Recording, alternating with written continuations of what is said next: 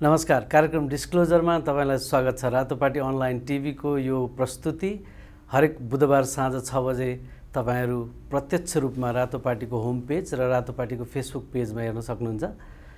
यसभन्दा अगाडिका एपिसोडहरूमा हामीले विभिन्न राजनीतिक सामाजिक मुद्दाहरूलाई उठाइसकेका छौँ र यसपटक पनि हामी एउटा नयाँ मुद्दा सहित उपस्थित भएका छौँ एकजना नयाँ अतिथिका साथमा। आजको कार्यक्रममा हामी खास गरेर एमालेको बारेमा कुरा गर्छौँ। नेकपा एमाले लामो समयदेखि नेपालको राजनीतिमा एउटा सशक्त हस्ती पार्टीको रूपमा रहेको छ र यसको प्रभाव र यसको नेतृत्व नेपाली समाजको लागि निकै नै महत्त्वपूर्ण रहेको छ।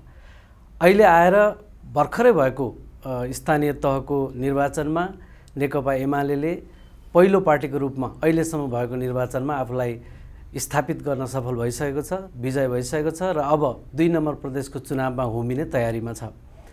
एमालेका एकजना प्रखर र निकै महत्त्वपूर्ण नेता हामीसँग हुनुहुन्छ आज प्रदीप ग्यावाली। उहाँसँग हामी एमाले र नेपाली समाजसँग एमालेको कस्तो खालको अन्तर्क्रिया अब हुनेवाला हुनेवाला छ भन्ने बारेमा कुरा गर्दैछौँ। तपाईँलाई स्वागत छ कार्यक्रम धन्यवाद। भर्खरै मैले अगाडि कुरा सुरु गरेँ। एमाले पार्टीको लामो इतिहासमा नेपालको समाजलाई यहाँसम्म ल्याउनमा महत्त्वपूर्ण भूमिका छ।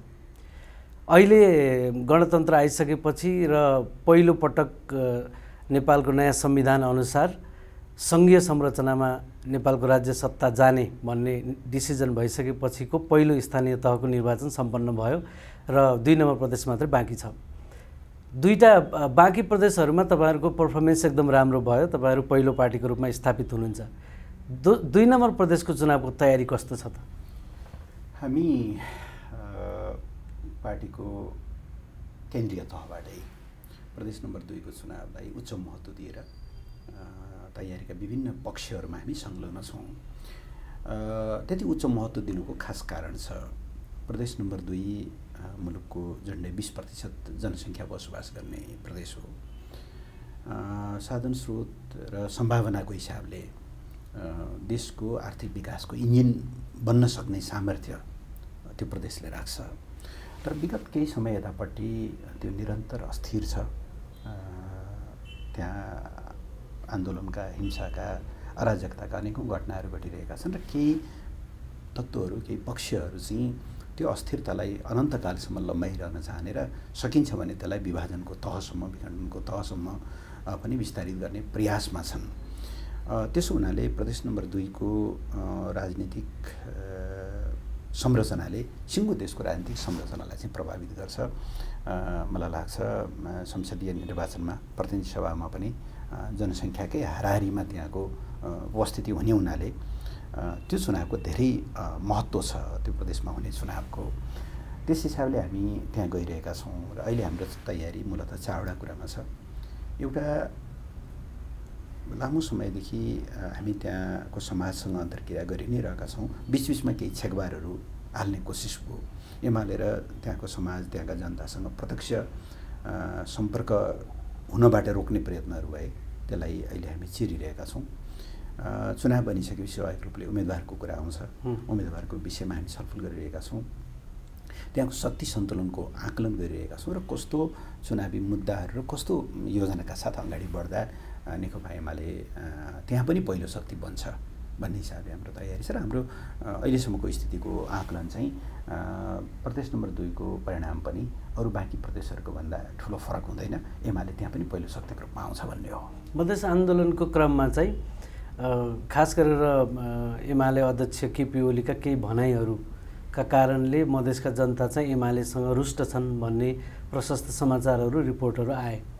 र त्यसै गरेर एमालेलाई चाहिँ चुनावमा जानु पनि गाह्रो छ। एमालेलाई कति ठाउँमा एमाले निषेधित क्षेत्र बनाउने भन्ने पनि कुरा आयो। यसले यो चिजसँग तपाईँहरू कसरी फेस गरिराख्नु भएको छ पहिलो कुरा ती भनाइहरू अथवा ती आरोपहरू यथार्थमा आरोपहरू थिए। अब तराई मधेसमा एक खालको सेन्टिमेन्ट छ त्यो हामीले बुझेकै कुरा हो। लामो सामन्ती व्यवस्थाका कारणले त्यसबाट सृजित विभेदहरू तराई मधेसमा छन्। र अझ बढ्ता छन् भन्नुपर्छ। किन अरू मुलुकका अरू भूभागहरूमा राजनीतिक आन्दोलन सँगसँगै सामाजिक रूपान्तरणको सामाजिक सुधारको आन्दोलन भएको देखिन्छ। दलितहरूकै समस्याको कुरा गरौँ न अब सुदूरपश्चिमका केही ठाउँहरूदेखि बाहेक अब आम रूपमा दलित समस्या त्यो लेभलमा छैन। महिलाहरूको सशक्तिकरणको लेभल पनि अन्यत्र ठाउँमा धेरै माथि उठेको देखिन्छ। अन्तर्जातीय विवाहहरू जस्ता धेरै कुराहरूमा समाजले ठुलै फड्को मारेको छ। तर प्रदेश नम्बर दुई एउटा यस्तो ठाउँ हो जहाँ चाहिँ भनौँ न राजनीतिक आन्दोलन सँगसँगै सामाजिक आर्थिक रूपान्तरणको आन्दोलन नहुनुको कारणले चाहिँ विभेदको लेभल अलि बढ्ता छ। त्यो संवेदनामाथि केही राजनीतिक दलहरू खेलले खेल्न प्रयत्न गरे। उनीहरूको आफ्नै निश्चित राजनीतिक उद्देश्यहरू थिए। त्यो उद्देश्यहरूमाथि जनताको भावना चाहिँ मिसिन पुग्यो। विभेद अथवा हिजोका कतिपय एफआईहरू यथार्थ हो। तर त्यसलाई चाहिँ आजको समस्या मानव यो समस्या भर्खरै सृजित भएको हो र त्यो समस्या चाहिँ अहिलेको संविधानले र अहिलेका नेताहरूले सृजना गरेका हुन् जस्तो गरिकन प्रस्तुत गरियो र यहाँले भन्नुभयो जस्तो हाम्रो पार्टी हाम्रो पार्टीका नेतृत्वलाई त्यसमा अनावश्यक रूपमा लान्छित गर्ने प्रयत्न भयो। तर झुटको पर्दा त लामो समयसम्म रहिरहने कुरा भएन। शीतको आयु कहिलेसम्म भन्दा घाम नलाग्दासम्म जब गएको संविधान जारी भइसकेका विगत दुई अ, ढाई वर्ष यतापट्टिको क्रममा कुरा गर्नुहुन्छ भनेदेखि हामी अनेकौँ माध्यमहरूबाट जनताको बिचमा गयौँ र संविधान पढ्दै नपढिकन पढ्नै नदिइकन त्यसका विभिन्न धारा उपधाराहरूको अपव्याख्या गरी गरिकन जे एउटा बिम्ब निर्माण गरिएको थियो। संविधानको बारेमा जनताहरूले त्यसलाई यथार्थमा बुझ्नुभयो त्यो बुझ्नुभयो भन्ने कुराको प्रष्ट सङ्केत के हो भनेदेखि पहिलो र दोस्रो चरणमा गरेर तराईका कुल बिस जिल्लामध्ये बाह्र जिल्लामा त चुनाव भइ नै सकेको भइसक्यो। छ र ती बाह्रवटै बाह्र जिल्लाको कुल सिटमा नेकपा एमाले पहिलो सक्रिय हो। अर्थात् सिङ्गो देशभरि मात्रै होइन कि तराईमा पनि पहिलो शक्ति हो।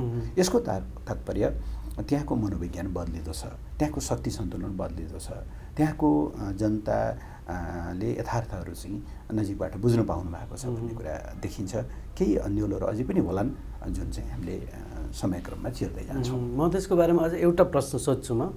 जस्तै मधेसको बारेमा मधेसी अभियन्ताहरूको भनाइ के छ भने पहिला एक समय सप्तरीको चाहिँ साक्षरता दरदेखि त्यहाँको जनजीवनको स्तर राम्रो थियो पहिला एक समय। समयक्रममा त त्यो अझ इम्प्रुभ हुँदै जानुपर्नेमा पछिल्लो समयमा झन् खस्केको देखिन्छ। त्यसै गरेर तराईका आम ठाउँहरूमा यस्ता विभिन्न समस्याहरू छन् बाटोघाटोदेखि सब चिज छ जसमा सजिलै विकास गर्न सकिने कुरा पनि राज्य सत्ताले वास्ता नगरेको जस्तो देखिन्छ। त्यो उहाँहरूले डाटामा कुरा गर्नुहुन्छ त्यसमा। र त्यसको तात्पर्य के भन्नुहुन्छ भने नेपालको चाहिँ मधेसलाई राज्य सत्ताले हेर्ने दृष्टिकोण चाहिँ सधैँभरि काखा पाखाको दृष्टिकोण रह्यो। त्यसकारण मधेसको कहिले पनि प्रगति हुन सकेन। यस यसलाई चाहिँ बदल्न पर्नेमा पछिल्लो समयका ठुला राजनीतिक दलहरूले संविधान जबरजस्ती ल्याउने नाममा चाहिँ यो बदल्ने काम रोक्न खोजे भन्ने आरोप छ उहाँहरूको। त्यसलाई कसरी जवाफ दिनुहुन्छ? मलाई त्यो भनाइमा सत्यता छ भन्ने लाग्दैन। राज्य विभेदकारी थियो त्यसमा त कुनै विवादै भएन। र त्यो विभेद तराईमा मात्रै होइन। राज्यको विभेदको सबभन्दा ठुलो शिकार त कर्णाली होला। जहाँका जनताले खान पनि पाउँदैनन् नुन पनि पाउँदैनन्। हामी हामीलाई फोटो हेर्दाखेरि पनि आङ सिरिङ्ग हुन्छ तुइनमा झुन्डिएर लट्ठामा झुन्डिएर तुइन पनि हुँदैन। लट्ठामा झुन्डिएर नानीहरू चाहिँ स्कुल जान पारि जान्छन् र कति चाहिँ कर्णालीको ओर्लिँदो भेलमा चाहिँ बगेर उनीहरूको जीवन समाप्त हुन्छ त्यति त्यति हेपाइ छ। तर त्यो ठाउँको मधेसका अभियन्ताहरूले दिनुपर्ने जवाफ के हो भनेदेखि डोल्पा र हुम्लाको भन्दा सर्लाही र रौतहटको साक्षरता दर कम हुनुमा राज्य मात्रै जिम्मेवार छ।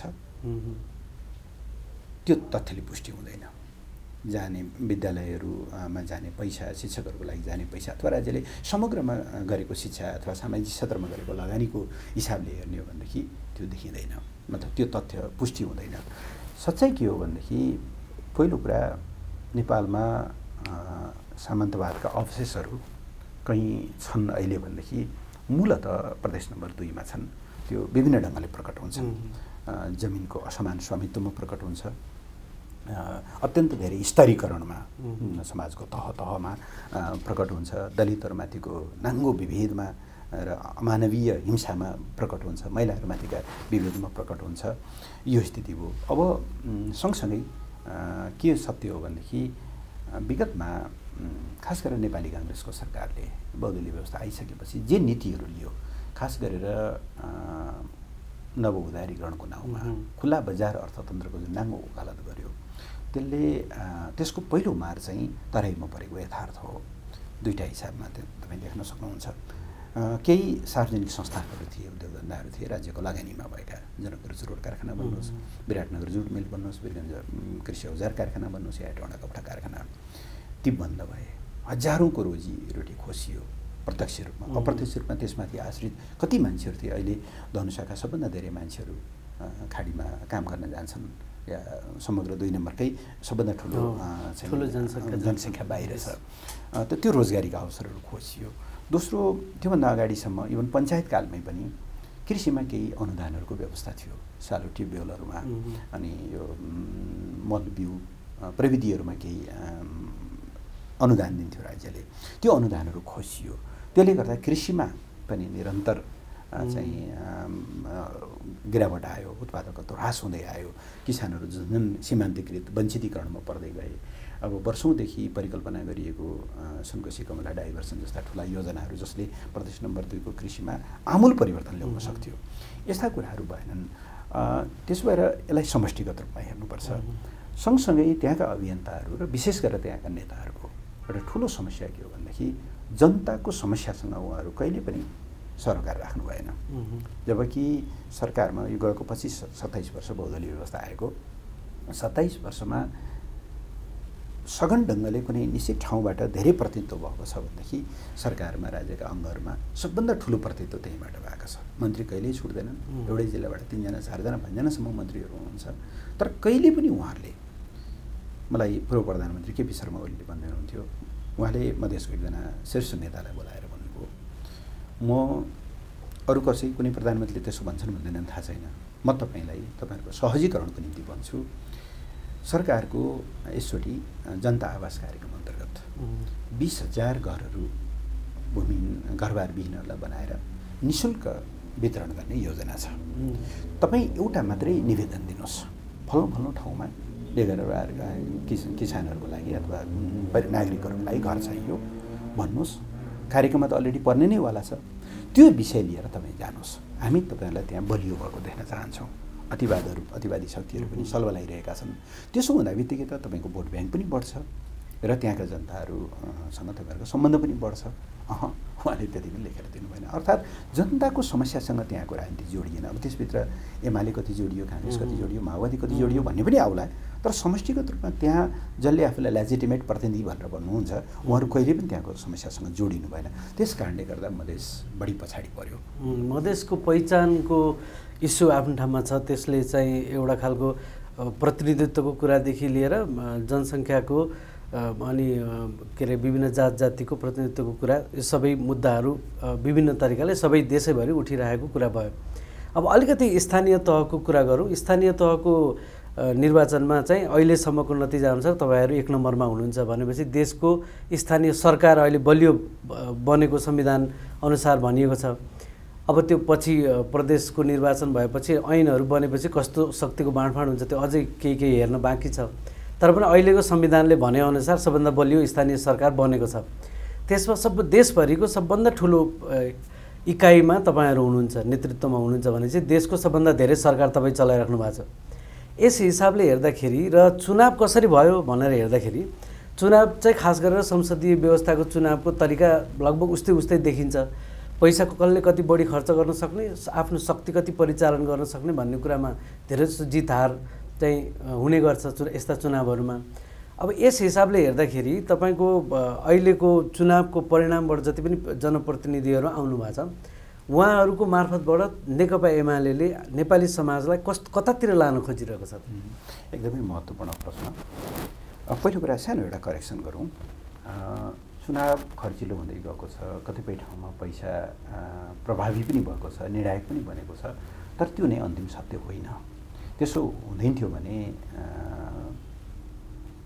कयौँ यस्ता हामीले उम्मेदवारहरू जिताएका छौँ जित्नु भएको छ। जसको बस्नको लागि दुईवटा कोठा तिनवटा कोठाको घर पनि छैन होइन?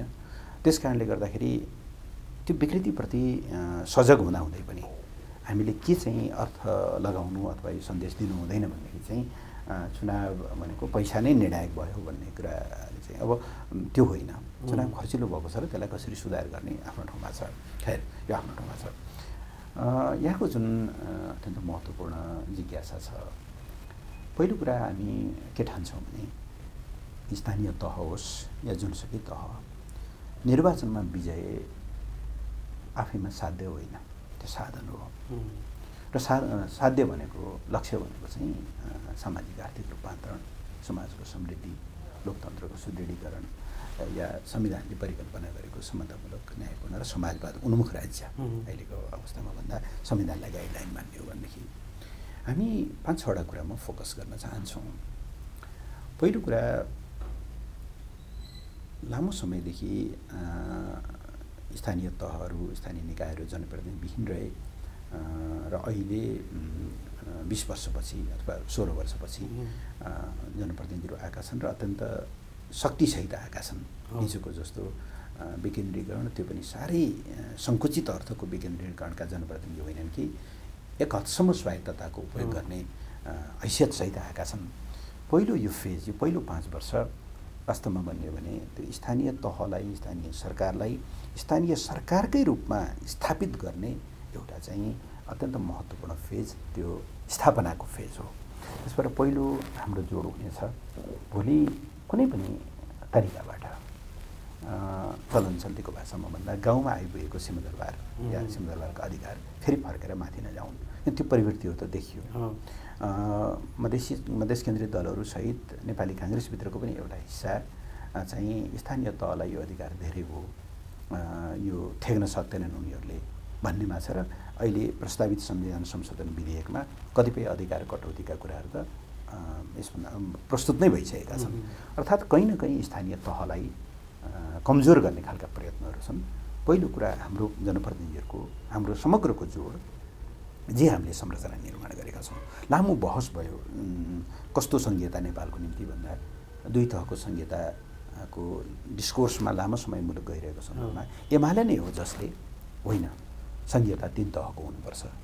सङ्घीयताको अर्थ एउटा महत्त्वपूर्ण अर्थ राज्यलाई जनताको आँगनमा ल्याउने हो भनेदेखि केन्द्र र प्रदेशको बिचमा मात्रै अधिकार बाँडफाँड गरेर जनता अधिकार सम्पन्न हुँदैनन् भनेर लडेको एउटा निर्णायक शक्ति हुनुको नाताले हाम्रो पहिलो जोड चाहिँ गाउँमा आएको अधिकारलाई त्यसलाई संस्थागत गर्ने र कसैले पनि त्यसलाई फर्काउन नसक्ने गरी त्यसलाई चाहिँ संरचनागत रूपले सुदृढ गर्ने पहिलो यसमा हुनेछ।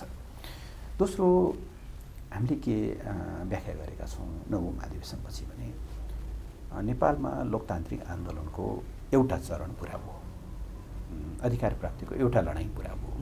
निरपेक्ष ढङ्गले क्रान्ति आन्दोलन सकियो भन्ने कुरा त होइन।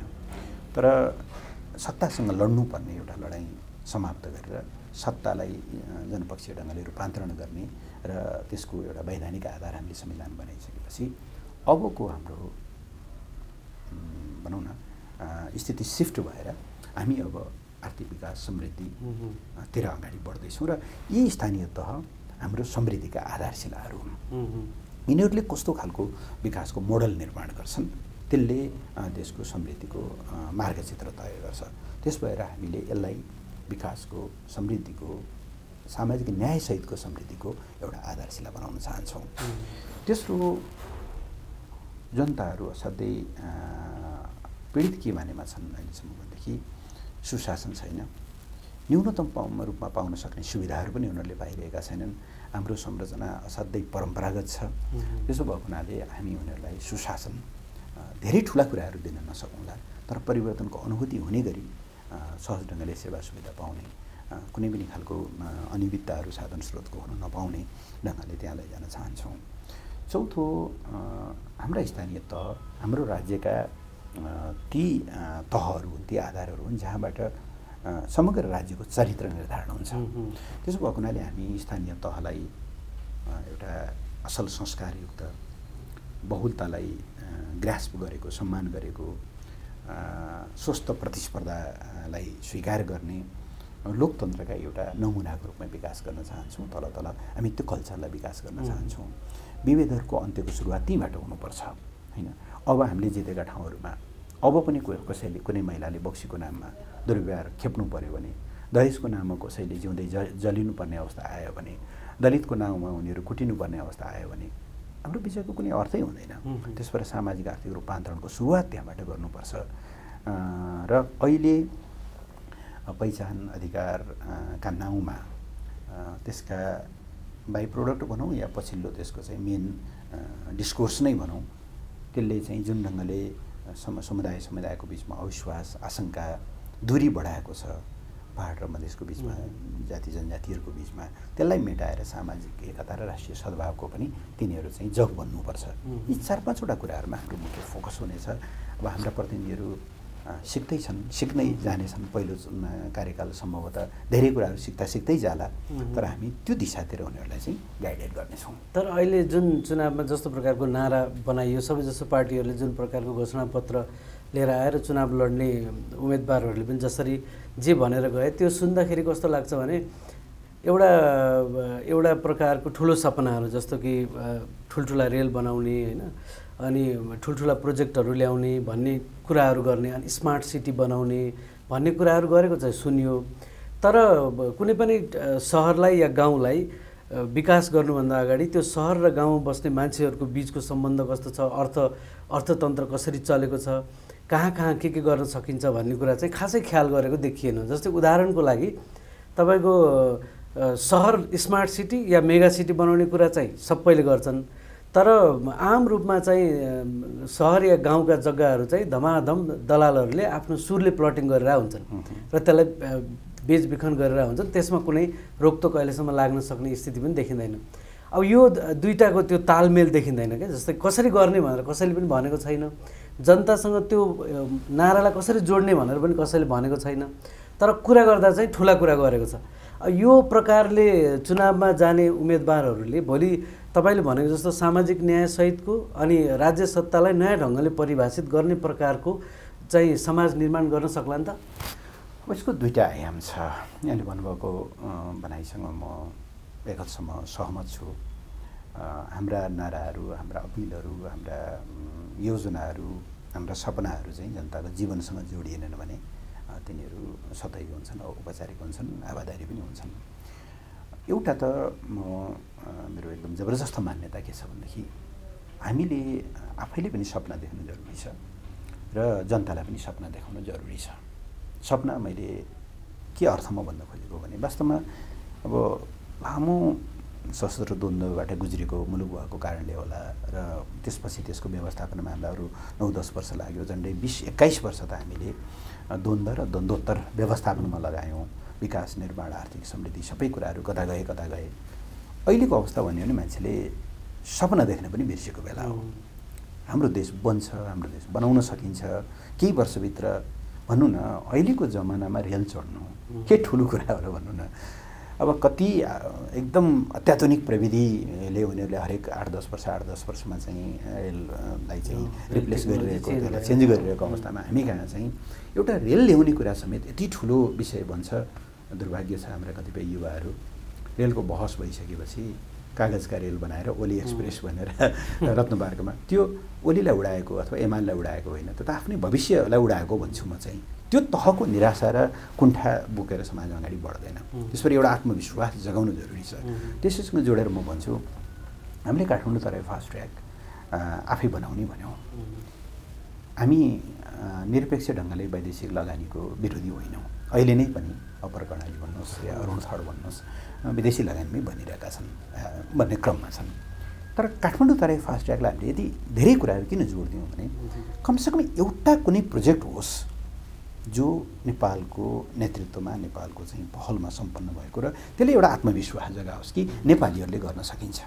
सधैँभरि अर्काको मुख ताक्नु पर्दैन भन्ने त्यो नेपाली आत्मविश्वासको स्वनिर्भरताको एउटा प्रतीकको रूपमा दृष्टान्तको रूपमा हामीले त्यसलाई अगाडि बढाउन खोज्यौँ। त्यसको पनि भयङ्कर राजनीतिकरण हो त्यस अर्थमा मैले भन्न खोजेको पहिलो सपना देख्नु जरुरी छ। तर सपनालाई जीवनसँग पनि जोड्न जरुरी छ। अब त्यसमा तिन चारवटा कुराहरू हामीले सोचेका छौँ। जस्तो पहिलो अघि यहाँले भन्नुभएको जस्तो जमिन उत्पादन जनताको आर्थिक जीवनसँग जोडेर। हो एकदमै हाम्रो देशमा बडो विडम्बना के भयो भने अब कुनै पनि देशको औद्योगिकरणको निम्ति कृषिबाट ठुलो श्रम शक्तिलाई बाहिर निकाल्नु र त्यसलाई औद्योगिकरण या गैर कृषि अर्थतन्त्रमा आबद्ध गर्न जरुरी हुन्छ।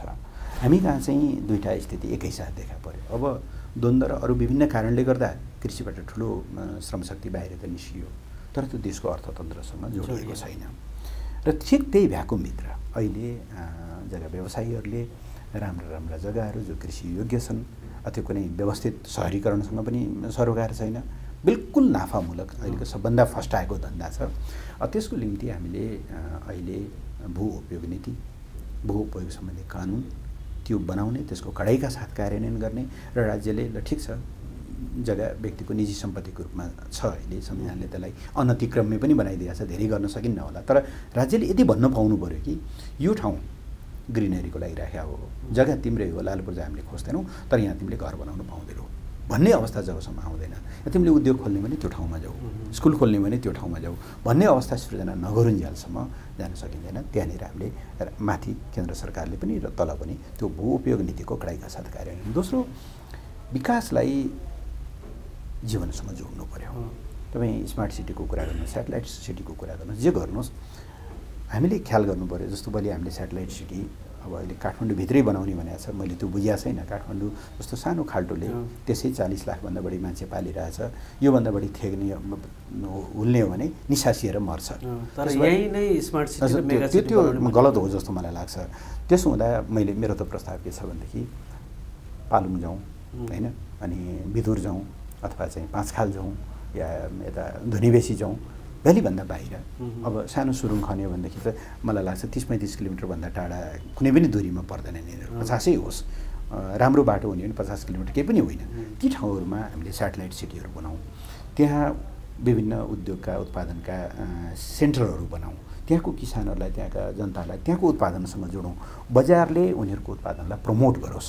यो ढङ्गको विकास समावेशी विकास चाहिँ हामीले खोजेको कुरा हो र हामीले स्थानीय तहहरूलाई काम गर्दाखेरि आफूलाई मात्रै नहेर काठमाडौँ महानगरले वरपर पनि हेर अरू पनि महानगर नगरहरू छन् गाउँहरू छन् तिनीहरूलाई कसरी एउटा विकासमा सँगसँगै लग्न सकिन्छ यो ढङ्गले जाऊ भनेर हामीले भन्ने भनेका छौँ। तपाईँ यति बेला हेर्दै हुनुहुन्छ डिस्क्लोजर रातो पार्टी अनलाइन टिभीमा प्रत्यक्ष प्रसारण भइरहेको छ यो कार्यक्रम। रातो पार्टीको फेसबुक पेज र होम पेजमा तपाईँ एकैपटक हेरिरहनु भएको छ र आज हामीसँग नेकपा एमालेका नेता प्रदीप केवाली हुनुहुन्छ। हामी नेकपा एमाले नेपाली समाजलाई अब कता लैजान खोजिरहेको छ कतातिर लैजाने नेतृत्व गरिरहेको छ भन्ने बारेमा चर्चा गर्दैछौँ। अब एउटा प्रसङ्ग कहाँ जोड्न चाहन्छु म भने नेपालको राजनीतिक यो समग्र राजनीतिक संस्कार संस्कृति हेर्दाखेरि चाहिँ अघि तपाईँले भन्नुभएको जस्तो जुन एउटा सहिष्णुताको र सपनाको कुरा छ। यो दुईवटा कुरा चाहिँ कता मिस भएको जस्तो लाग्छ? जस्तै राजनीतिक दलहरूको बिचमा या राजनीतिक दलहरूले एकले अर्काका मुद्दाहरू सम्बोधन गर्ने या नगर्ने बारेमा या त्यसबारेमा छलफलै गर्ने बारेमा पनि धेरै प्रसङ्गमा असहिष्णुता प्रकट गरेको जस्तो देखिन्छ। कयौँ बस्ने त धेरै हदसम्म अरू कयौँ देशहरूको भन्दा बढी चाहिँ हाम्रो देशमा सँगै बसेर छलफल गर्ने संस्कार चाहिँ धेरै राम्रो छ। तर कुनै चिजलाई टुङ्गोमा पुर्याउने बारेमा चाहिँ चाहे मधेसको मुद्दाको होस् या जनजातिको मुद्दाको होस् या यी मुद्दाहरूलाई कसरी पहिचानको मुद्दालाई कसरी अघि भन्नुभएको जस्तै सेटल गर्ने त भन्ने भन्दा पनि त्यसलाई कसरी नेगेटिभली प्रेजेन्ट गर्ने त भन्नेमा बढ्ता राजनीतिक दलहरूको होडबाजी भएको जस्तो अनि त्यही चिज चाहिँ समाजमा छिर्ने त्यही चिज चाहिँ सामाजिक सञ्जालमा छिर्ने त्यो प्रकारको असहिष्णुता चाहिँ झन् बढेको जस्तो लाग्छ। मैले यसो सरस्वती हेर्दाखेरि तपाईँ कस्तो देख्नुहुन्छ? यसले त तपाईँको समाजलाई अगाडि बढाउने तपाईँको जुन अघि भन्नुभएको जुन सपना छ त्यो सपना त पुरा हुँदैन। यसमा दुईवटा पक्ष होला। एउटा हामी कहाँनिर मिस गऱ्यौँ भनेदेखि परिवर्तन गर्न हामी जब एउटा मोर्चामा उभियौँ र संयुक्त पहलबाट हामीले परिवर्तन गऱ्यौँ चाहे बासठी त्रिसठीको होस् अथवा त्योभन्दा अगाडि छयालिसको होस् चाहे त्योभन्दा अगाडि दुई हजार सात सालको होस्। परिवर्तनलाई संस्थागत गर्नको निम्ति परिवर्तनकारी शक्तिहरूको सहकार्य निश्चित समयको निम्ति अपरिहार्य तत्त्व हुँदो रहेछ। किनभने परिवर्तनपछिको समाज अत्यन्त तरल हुन्छ। थिग्रिसकेको हुँदैन। त्यसले स्पष्ट आकार लिइसकेको हुँदैन। हरेक क्रान्तिपछि प्रतिक्रान्तिका सम्भावनाहरू चाहिँ उत्तिकै प्रबल हुन्छन्। जनताका अपेक्षाहरू भयानक बढेका हुन्छन्। समाजलाई जोड्ने तन्तुहरू खलबलिएका हुन्छन्। त्यो स्थितिभित्र त्यसलाई व्यवस्थापन गर्न जुन सहकारीको जरुरत हुन्थ्यो त्यो दुर्भाग्यवश हामी कहाँ भएन। छयालिस सालको आन्दोलनमा पनि आन्दोलनको लगत्तै पछाडि नेपाली काङ्ग्रेसमा यति चर्को असहिष्णुता देखियो। उहाँहरू शीतयुद्धकालीन भ्रमबाट निर्देशित हुनुभयो। सोभियत सङ्घ र पूर्वीय रूपमा समाजवादी सत्ताहरू ढलिसकेपछि अब कम्युनिस्टहरू दुई दिनका पाहुना हुन् भनेर यति निषेधको बाटोमा जानुभयो जसले अन्ततगत मुठभेड र हुँदै जाँदा बहुदलीय व्यवस्था समाप्त पार्ने बिन्दुमा पुर्यायो। बासठी त्रिसठी पछि पनि सहकारी जरुरी थियो। माओवादी त्यहाँनिर चुक्यो किनभने ठुलो शक्तिको रूपमा माओवादी आएको थियो चुनाव पछाडि। उसले निषेध गर्ने र आन्दोलनकारी शक्तिभित्रै मुख्य शत्रु खोज्ने खालको बाटो लियो। एउटा यसको आयाम राजनीतिक दलहरूले आन्दोलनका उपलब्धिहरूलाई संस्थागत गर्न सहकार्य गर्न नमानेको कुरामा छ त्यही कुरा संविधान जारी हुनुभन्दा अगाडि भएको भद्र सहमतिलाई कङ्ग्रेसले तोडेको कुरासँग पनि जोड्न सकिन्छ या त्यस यतापट्टिका घटनाक्रमसँग जोड्न सकिन्छ। दोस्रो अब जहाँसम्म यो पहिचान या अधिकारका कुराहरू छन् यसमा केही गम्भीर सैद्धान्तिक राजनीतिक विमतिहरू या बुझाइमा समस्याहरू पनि छन्। म चाहिँ नेपाली समाजमा खालि वर्गीय मात्रै होइन सामाजिक उत्पीडन पनि छ भन्ने कुरालाई स्वीकार गर्छु। तर सामाजिक उत्पीडनका विभिन्न जुन पक्षहरू छन् लैङ्गिक भन्नुहोस् या जातीय सांस्कृतिक भन्नुहोस् या धार्मिक या भौगोलिक भन्नुहोस् यो उत्पीडनको समाधान भनेर जे कुरा पस्कियो जे प्रेसक्रिप्सन दियो नि जातीय पहिचानमाथि आधारित राज्य या जातिको जनसङ्ख्याको आधारमा चाहिँ हरेक ठाउँमा प्रतिनिधित्व या अझ अगाडि बढेर आत्मनिर्णयको अधिकार या एउटा यस्तो भाष्य या एउटा यस्तो खालको व्याख्या कि मानिलिउँ लामो समयसम्म चाहिँ राज्यमा एउटा खास वर्गका या खास समुदायका मान्छेहरूले राज्य चलाए भन्ने नाउँमा त्यो सिङ्गो समुदाय नै घृणाको पात्र भन्ने जस्तो। यो जुन ढङ्गको व्याख्या भयो आजका समस्याहरूको एउटा मुख्य कारण त्यहाँनिर छ। यसो भनेर विभेदहरूलाई इन्कार गर्न खोजिएको होइन। त्यो यथार्थ हो। तर त्यसको समाधानको जे प्रेसक्रिप्सन दियो नि त्यो प्रिस्क्रिप्सन चाहिँ सही थिएन। त्यसको लागि जस्तो दलितकै कुरा गरौँ या अर्को कुनै एउटा समुदायको कुरा गरौँ जो उत्पीडित छ। त्यो उत्पीडनका चार पाँचवटा आयामहरू हुँदो रहेछन् एउटा राजनीतिक जसलाई हामीले संविधान अथवा कानुनबाट समाधान गर्नु पऱ्यो आर्थिक हो भनेदेखि उत्पादनका साधनमाथि स्वामित्व स्थापित गरेर आर्थिक सम्बन्ध परिवर्तन गरेर गर्नु पऱ्यो सामाजिक हो भने शिक्षामा पहुँच दिएर या भाषालाई समान मान्यता दिएर या अरू कुनै माध्यमबाट गर्नु पऱ्यो अब कतिपय सन्दर्भमा मनोवैज्ञानिक पनि हुन्छ। तर हामी कहाँ चाहिँ सबै रोगको रामबाण औषधि सङ्घीयता सङ्घीयताभित्र पनि जातीय पहिचानसहितको सङ्घीयता जस्ता खालका कुराहरूले समाजमा कस्तो एउटा मनोविज्ञान निर्माण गर्यो भने लडाइँ हुनुपर्थ्यो राज्यसँग। लडाइँ अहिले समुदाय समुदायको बिचको जस्तो। मधेसी समुदायले यो पाहाडी समुदाय पो हाम्रो अधिकार खोज्ने मुख्य चाहिँ शत्रु हो भने जस्तो। अब पाहाडी समुदायले यही नै पो के भन्दा देशको एकतालाई चाहिँ बाँझो हाल्न खोज्ने समुदाय हो जस्तो। यो ढङ्गले अलिकति निशाना गलत ठाउँमा गयो। त्यस कारणले गर्दा अलिकति असहिष्णुता छ। त्यसबाहेक एक लाइन मात्रै जोडिहालेँ। त यति हुँदाहुँदै पनि त्यो त्यसले चाहिँ भइदियो के भन्दाखेरि अनि त्यसमाथि आउँछ अब राजनीतिक उद्देश्यका निम्ति यस्ता कतिपय मुद्दाहरूको चाहिँ उपयोग गर्ने खालको कुराहरू। त्यसो भइसकेपछि त्यसलाई आफ्नो अनुकूल आफ्नो पाए पर्ने गरी त्यसको व्याख्या गर्ने प्रवृत्ति पनि छँदैछ। कयौँ प्रसङ्गमा मैले कस्तो देख्छु भन्दाखेरि जस्तै लेख्ने मान्छेहरू अथवा किताब लेख्ने मान्छेहरू अथवा बौद्धिक भनिने मान्छेहरूले जसरी यो यस्ता मुद्दाहरूलाई व्याख्या गर्लान् विश्लेषण गर्लान् या कतै कुरै गर्लान् त्यसको भन्दा धेरै ठुलो स्केलको प्रभाव चाहिँ राजनीतिक दलहरूकै हुन्छ। राजनीतिक दलहरूले जुन प्रकारको स्कुलिङ समाजमा लिएर गयो त्यो प्रकारको स्कुलिङले चाहिँ समाजमा झ्याप्पै प्रभाव पार्ने र त्यसको परिणाम पनि निकाल्ने हुँदो रहेछ। भनेपछि त यो यो सब हुनुमा त राजनीतिक दलहरू नै बढी जिम्मेवार भए पछिल्लो समयमा हेर्दाखेरि पनि राजनीतिक दलहरूले एक किसिमका सामाजिक न्यायका मुद्दाहरूलाई छोडेर मोटो मोटो विकासको मुद्दालाई अगाडि सारेको देखिन्छ। यसरी गर्न पनि राजनीतिक दलहरूले गऱ्यो भने त सर्लक्कै हुँदो रहेछ होइन? भनेपछि यो कुरामा पनि त राजनीतिक दलहरू चुकेको जस्तो लाग्दैन। त्यो निश्चय नै हो। जस्तो छयालिस सालपछि हामीले संसारभर नब्बेको दशकमा जे मोडल चल्यो लोकतन्त्रको नव उदारवादी मोडल या उदार लोकतन्त्रको मोडल त्यसैलाई फलो गऱ्यौँ। नेकपा एमालेको संविधानप्रतिको आलोचनाका सत्ताइस बुँदा या एकाउन्न सालमा एमाले चलाएको सरकारमा त्यसमाथि एउटा हस्तक्षेप गर्ने पहलहरू भएका थिए प्रयत्नहरू भएका थिए तर त्यो लामो समय टि टिकाउ हुन सकेनन्। आम रूपमा छयालिस सालपछिको हाम्रो लोकतन्त्र भनेको औपचारिक सतही विशुद्ध एउटा राजनीतिक अधिकारमाथि सीमित र एउटा सत्ता जो सत्तामा जान्छ उसैको सर्वस्व चाहिँ सबै उपयोग गर्ने खालको हो। त्यसमा चाहिँ जनताका सामाजिक आर्थिक मुद्दाहरू अलिकति ओझेलमा परे।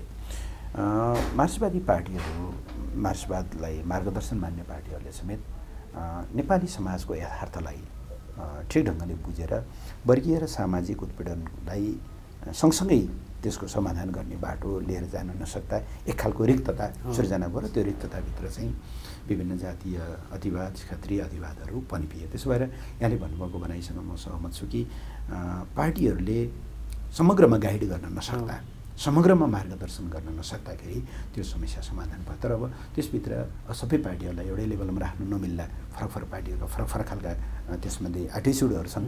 तर के कुरा सत्य हो भनेदेखि मुलुकको नेतृत्व गर्ने शक्ति हुनुको नाताले समस्या समाधानको पनि त मुख्य दायित्व त पार्टीहरूकै हो नि। त्यही कुरा गर्दाखेरि चाहिँ अलिकति राष्ट्रवादको कुरा जोड्न मन लाग्यो अन्तिम अन्तिममा छौँ हामी। नेपालमा चाहिँ राष्ट्रवादको एक खालको डिस्कोर्स लगभग लगभग सात सालदेखि सुरु भएको देखिन्छ। त्योभन्दा अगाडि पनि त्रिभुवनलाई मोहन शमशेरले अराष्ट्रिय तत्त्व भन्ने लगायतको त्यो डिस्कोर्स थोरै सुरु भएको देखिन्छ। तर त्यस पछाडि चाहिँ नेहरू आउने क्रममा काठमाडौँमा नेहरूलाई ढुङ्गामुढा गर्नेदेखि सब प्रतिरोधको क्रम सुरु भएको देखिन्छ र भारतले नेपाललाई थिचोमिचो गर्न खोज्यो अथवा आफ्नो कब्जामा लिन खोज्यो भन्ने डर र त्यसप्रतिको प्रतिरोध लामो समयदेखि चलेर आएको देखिन्छ। अहिले पछिल्लो समयमा जुन प्रकारको राष्ट्रवादको कुरा फेरि एकपटक जोडतोडका साथ उठेको छ र खास गरेर नेपालका कम्युनिस्ट पार्टीहरूले माओवादीले तपाईँहरूले बढी उठाउनु भएको छ। यो मुद्दालाई पछिल्लो समयमा त एमाले नेतृत्वै गरेको भनेर मानिएको छ। यो राष्ट्रवाद चाहिँ तपाईँहरूले सोचेको जस्तो नेपाली समाजलाई सकारात्मक दिशामा लैजाने राष्ट्रवाद हो अथवा यो राष्ट्रवाद एउटा भावनात्मक औजार मात्रै हो? के हो? होइन यसमा त थप बहस गर्नै पर्छ भन्ने मलाई लाग्दैन। पहिलो कुरा हामीले के बुझौँ भने राष्ट्रवाद कुन देशले कुन सन्दर्भमा कसरी उठान गर्छ भन्ने कुराले त्यसको जस्टिफिकेसन पुष्टि हुने हो। रुसमा एक बेला प्रो नाजी टाइपको एकजना व्यक्ति हुँदाए जेरो नस्की भन्ने उनले प्रखर राष्ट्रवादको कुरा उठाए। या अहिले ट्रम्पले अब पुरै आरक्षण गर्नुपर्छ अमेरिकालाई नै दिनुपर्छ भन्ने ढङ्गले उठाए। या अहिले भारतमा नरेन्द्र मोदीले हिन्दुत्वको जगमाथि उभिएर राष्ट्रवादको कुरा उठाइरहेछन् त्यो राष्ट्रवाद र नेपाल एउटा सानो देश। नेपालमा पछिल्लो बहस कहाँबाट सुरु भयो। संविधान बनाउन पाउने नेपालको आफ्नो अधिकार हो कि होइन? बहस त्यहाँबाट सुरु भयो नि त। लडाइँ कहाँबाट सुरु भयो भनेदेखि भारतले आफूलाई एउटा स्टेक होल्डर जस्तो मान्यो। सात सालमा हामीले सहयोग गऱ्यौँ तिमीहरूलाई छ्यालिस सालमा हामीले सहयोग गऱ्यौँ बासठी त्रिसठीमा सहयोग गऱ्यौँ। बाह्र बुँदेका त हामी नै अब ड्राफ्टकर्ता थियौँ भने जस्तो समय पनि जबकि त्यो शत प्रतिशत गलत हो। हो। हामीले भारतीय भूमि प्रयोग गऱ्यौँ एउटा बाध्यतामा। तर त्यो नितान्त नेपाली पोलिटिसियनहरूको नेपालमै नेपालमै भइसकेको स्थिति थियो। अब हामी त रोल्पामै गर्न चाहन्थ्यौँ तर गिरिजाप्रसाद कोइराला त्यसो गर्न सक्ने अवस्थामा हुनुहुन्थेन उहाँ। त्यस कारणले गर्दा हामीले भारतको आश्रय लिनु पऱ्यो भूमिको सहारा लिनु पऱ्यो एउटा कुरा हो। त्यसलाई उसले लोकतन्त्रमा ने नेपाललाई गरिएको लोकतन्त्रका निम्ति गरिएको निस्वार्थ सहयोग होइन कि? आफ्नो लगानी जस्तो ठान्यो। र नेपालका प्रत्येक पोलिटिकल डिजाइनहरूमा आफ्नो चाहिँ स्टेक हुनुपर्छ। त्यस भएर हामीसँग नसोधिकन संविधान तिमीहरूले जारी गर्न पाउँदैनौ।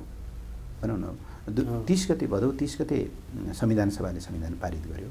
तिन गते घोषणा गर्ने उसले कार्यतालिका समेत पेस गर्यो। असोज एक गते आएर भारतीय दूतले भन्नुभयो कि खबरदार तिमीहरूले चाहिँ संविधान घोषणा गर्न पाउँदैनौ। हाम्रो लडाइँ देश सानो होला अथवा ठुलो।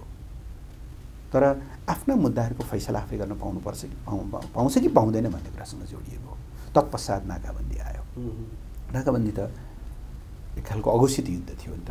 त्यस्तो बेलामा सानो देश भए पनि आफ्नै खुट्टामा बाँच्न पाउनुपर्छ कि पर्दैन भन्ने कुरा थियो। त्यसपछि हामीले चिनसँग ढोका खोल्यौँ। चिनसँगको ढोका त्यो कुनै भारतसँग काउन्टर ब्यालेन्सको निम्ति पनि थिएन। एउटा भूपरिवित राष्ट्र त्योभन्दा अगाडि नै गरिसक्नु पर्थ्यो। पुर्खाहरूले किन गरेनन् थाहा छैन। भोलिका दिनहरूमा हामीले त्यो भेन्टिलेसन खोलेको अब भोलि कति भाइबल हुन्छ साङ्घाई पोर्ट या गन्जाउ पोर्ट हामी कसै जान्दैनौँ। तर एउटा भूपरिष्कृत राष्ट्रले जुनसुकै छिमेकीको पनि बाटो भएर समुद्रसम्म पुग्न पाउनुपर्छ आउने पुस्ताले नाकाबन्दीको सामना गर्न नपरोस् भनेर हामीले गऱ्यौँ चौथो एउटा देशभित्रै केही पार्टीहरू केही नेताहरू भूकम्पले थिलो थिलो परेको देशमा औषधिका ट्रकहरू समेत आउन नदिने गरी त्यसमा आगो लगाउने गरी सीमामा गएर दस गजामा गएर नाकामा चाहिँ धर्ना बस्नु पऱ्यो वरि ढुङ्गा हान्नुभयो। हो यो प्रवृत्तिको विरोधमा पछिल्लो समयको नेपालको राष्ट्रवाद राष्ट्रियताको कुरा अगाडि आएको हो।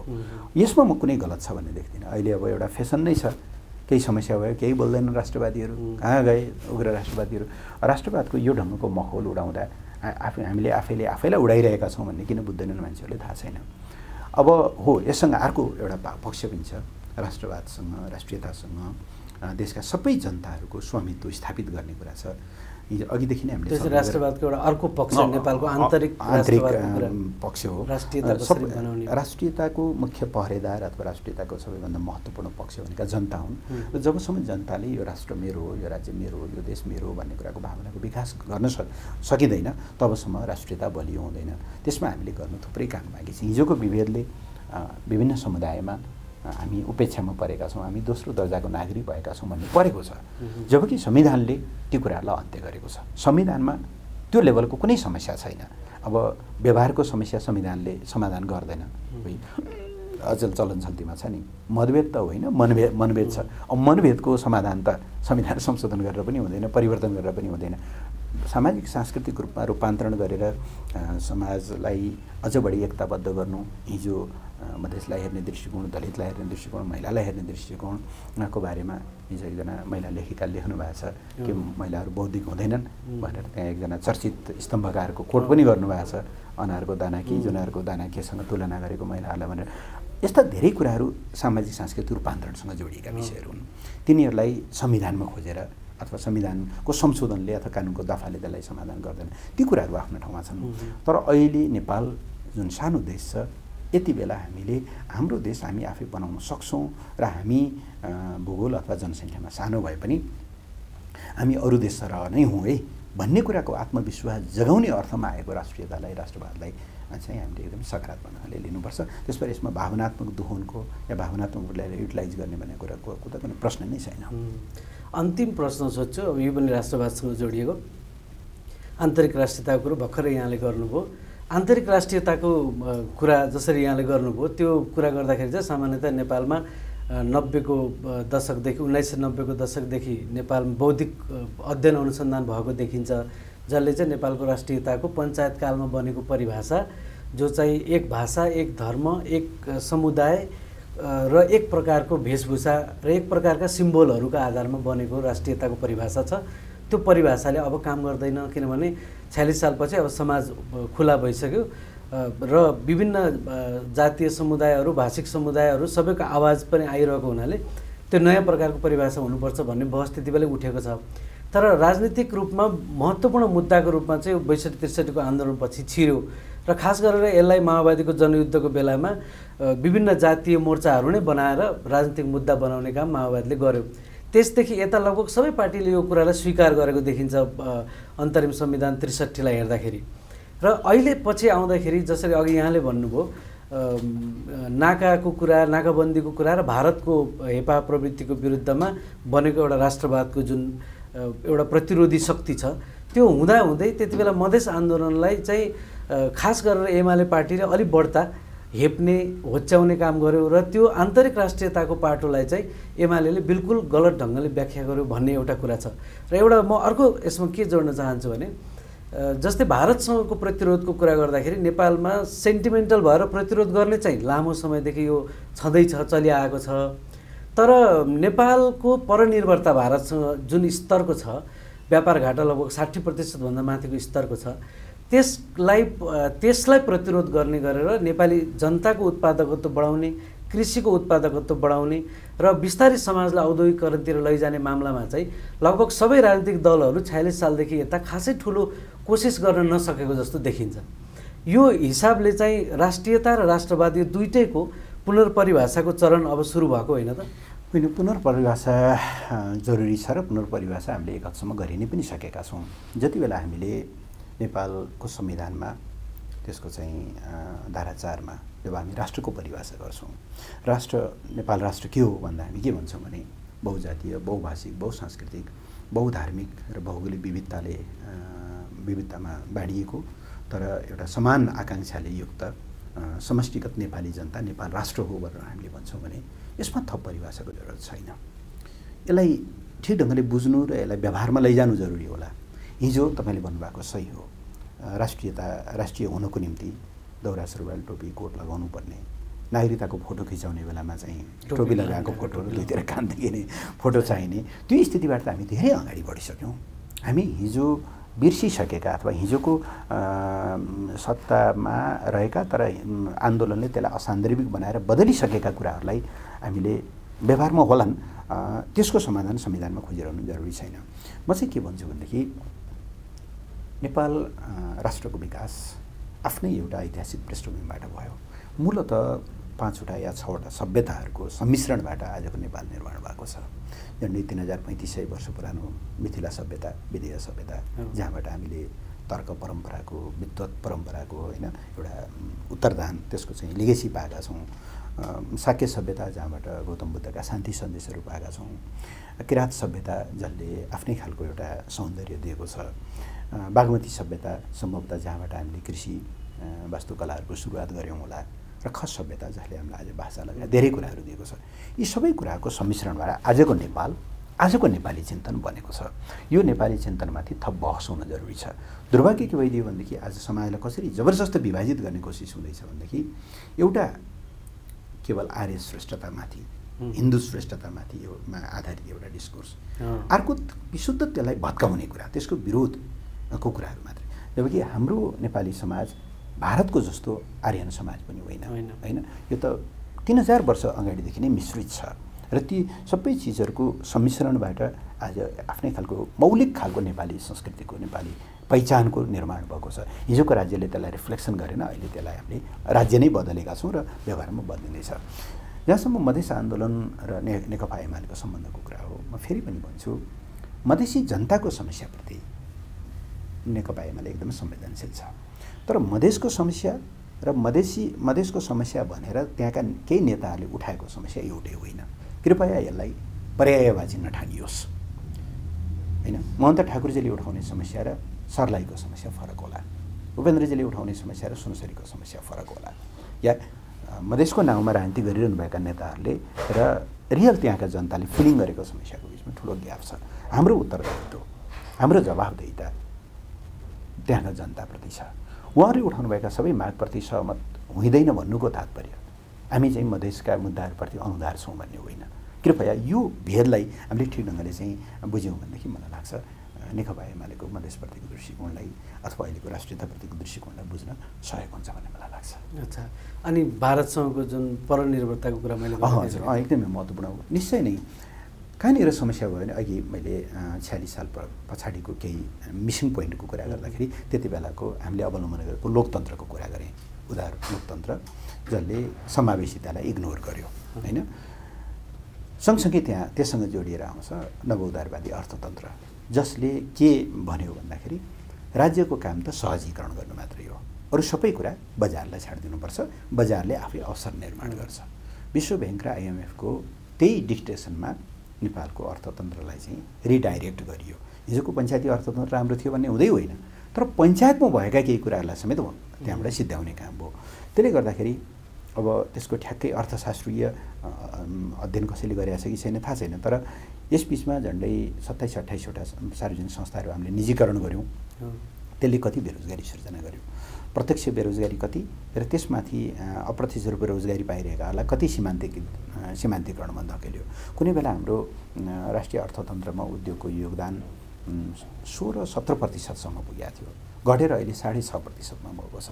अब त्यसमा मैले भन्नै पर्ने हुन्छ सशस्त्र द्वन्द्व माओवादीको त्यति बेलाको ध्वंस बिना निर्माण हुँदैन भन्ने कुराहरू वैदेशिक लगानीप्रतिको उसको नकारात्मक सोच त्यो कुराले पनि काम गर्यो। तर त्योभन्दा ठुलो कुरा चाहिँ वास्तवमा त्यति बेला राज्यले लिएको नवोदारवादी नीति हो जसले नेपाललाई एक किसिमले डम्पिङ साइट जस्तो बनायो। त्यस अर्थमा तपाईँले भन्नुभएको सही हो कि त्यो त अझै पनि कन्टिन्यू हुने अब हामीले संविधानमा त्यसलाई हस्तक्षेप गरेका छौँ रोकेका छौँ। हाम्रो संविधानले हाम्रो अर्थतन्त्रको चरित्र बताउँछ विकासको दिशा बताउँछ सामाजिक न्यायसहितको आर्थिक समृद्धि भन्छ आर्थिक वृद्धि भन्छ तिन खम्बे अर्थनीतिको कुरा गर्छ राज्यको अर्थतन्त्रमा पब्लिकहरूको पहुँचलाई बढाउने कुरा गर्छ समुदायको अधिकारको कुरा गर्छ। तर हाम्रो ट्रेडिसनल माइन्डसेट यस्तो छ कि वास्तवमा चाहिँ त्यसलाई बदल्न जरुरी छ। तर संविधानको तहमा भन्नुहुन्छ भनेदेखि हामीले चाहिँ त्यसलाई अन्त्य गरेका छौँ। अब ऐनको तहमा गएपछि तपाईँहरूलाई बदल्ने सम्भावना कतिको छ? होइन जस्तो भनौँ न एउटा छलफल चलिरहेको छ। अस्ति छ सात महिना अगाडि म चाहिँ यो ट्रेड युनियनहरूले आयोजना गरेको तिनटै ठुला ट्रेड युनियनहरूले आयोजना गरेको। या कति थिए। जी फन्ड ट्रेड युनियन कङ्ग्रेस माओवादी सम्बद्ध अखिल नेपाल ट्रेड युनियन महासङ्घले एउटा छलफल कार्यक्रम आयोजना गरेका थियो। राज्यले समाजवाद उन्मुख भन्यो यो समाजवाद उन्मुख अर्थतन्त्र भनेको के हो? र त्यहाँ चाहिँ श्रमजीवीहरूको पहुँच कस्तो हुन्छ? कसरी हुन्छ भन्ने बारेमा एउटा राम्रो छलफल चलेको थियो। त्यहाँ मैले एउटा पेपर पनि प्रस्तुत गरेका थिएँ। मलाई के लाग्छ भनेदेखि हो अब कानुनहरूमा समस्याहरू छ। अब मैले त्यही पुरानो मानसिकताको कुरा गरेँ। अहिले पनि बटाबट कैयौँ चिजहरू संविधानसँग बाजिने गरी संविधानको त्यो आशय जुन छ लोक कल्याणकारी राज्य सामाजिक न्याय सामाजिक सुरक्षा र उत्तरदायी शासन प्रणालीसँग जोडिएका त्यो स्पिरिटसँग बाजिने गरी कतिपय बटाबट कानुनहरू पारित भइरहेका देखिन्छन्। अहिले बहस चलिरहेछ चिकित्सा शिक्षाको सुधारको सन्दर्भमा। अब हुन त त्यससँग जोडिएको एउटा प्रश्न छ हिजो राज्यले गरेको सहमतिको अथवा हिजो राज्यले कुनै संस्थालाई गो अहेड भन्यो उनीहरूले अरबौँ लगानी गरे अनि अहिले आएर कानुन परिवर्तन भयो भने उनीहरू राज्यले गरेको गल्तीको सजाय त्यो संस्था ती व्यक्तिहरू पर्नुहुन्छ कि हुन्न एउटा ठाउँमा छ। तर समष्टिगत रूपमा के कुरा सहमत हो भनेदेखि शिक्षा र स्वास्थ्य जस्ता कुराहरू नागरिकका मौलिक अधिकारहरू हुनु भने त्यसमा व्यापारी व्यापारीकरण हामीले बन्देज गरिनुपर्छ त्यसलाई नियन्त्रण गरिनुपर्छ। अब त्यससँग जोडेर हामीले कानुनहरू कुन ढङ्गले बनाइरहेका छौँ। अहिले पनि गोविन्द केसी अनसन बसिरहनु भएको छ त्यही मुद्दा हजुर त्यही मुद्दा। अब त्यससँग जोडिएको त्यही दुईवटा कुरा भने मैले। एउटा अब डाक्टर केसीलाई हेरिरहँदा हामीले अर्को के पनि हेर्नु पऱ्यो भने त्यति बेलाको वैधानिक सरकार संस्थाले नै उसले के कतिपय संस्थाहरूलाई तिमीहरू अगाडि बढाऊ भन्यो। अरबौँ लगानी गरे करोडौँ लगानी गरे। अब त्यो कि त हामीले राष्ट्रियकरणको बाटोमा जानु पऱ्यो हाम्रो अहिलेको कानुनले अथवा अहिलेको हाम्रो विद्यमान नीतिले त्यो भन्छ कि भन्दैन? ती कुराहरू आफ्नो त्यसलाई पनि एड्रेस गर्नु मतलब डाक्टर गोविन्द केसीका मागहरू सम्बोधन गर्ने क्रममा आम रूपमा उहाँका मागहरू सकारात्मक छन्। तर त्यसो गरिरहँदाखेरि चाहिँ हिजो राज्यले कुनै ठाउँमा गल्ती गरेको छ भने त्यसको गल्तीको चाहिँ सुधार गर्ने उपाय के हो त? त्यो कुरालाई पनि सँगसँगै गाँसेर हेर्नुपर्छ। तर हामी कहाँनिर छलफल गर्दैथ्यौँ भने संविधानले लोक कल्याणकारी राज्य सामाजिक न्यायसहितको राज्यको कल्पना गरेको छ भनेदेखि अब हामीले बन्ने प्रत्येक ऐनहरू त्यो संविधानसँग इन्कम्प्लाइन्स त्यो कम्प्याटेबल हुने गरी बन्नु पऱ्यो आउने बजेट त्यही अनुसार बन्नु पऱ्यो हाम्रा हाकिम साहबहरूको कार्यशैली हाम्रा निर्वाचित जनप्रतिनिधिहरूको कार्यशैली त्यही हुनु पऱ्यो र जनताले त्यसअनुसारको अनुभूति चाहिँ पाउनु पऱ्यो तपाईँहरूको पार्टी सबभन्दा ठुलो पार्टी भएको छ। भविष्यमा पनि तपाईँहरूले राम्रो पर्फर्मेन्स गर्ने भन्दै हुनुहुन्छ। तपाईँहरूलाई शुभकामना र बधाई छ। र आजको कार्यक्रममा भाग लिइदिनु भएकोमा पनि तपाईँलाई धेरै धेरै धन्यवाद धन्यवाद। यहाँलाई पनि यहाँ मार्फत मैले केही कुराहरू राख्ने पाएँ र यहाँका श्रोताहरूसँग आफ्ना विचारहरू पुर्याउने मौका पाएँ। धेरै धेरै धन्यवाद। दर्शक तपाईँलाई पनि धेरै धन्यवाद छ। आजको डिस्क्लोजर सकिएको छ। आफ्नो सुझाव पठाउँदै गर्नुहोला हामीलाई। फेरि अर्को बुधबार यसै गरी नयाँ अतिथिका साथ उपस्थित हुनेछौँ। धन्यवाद। नमस्कार।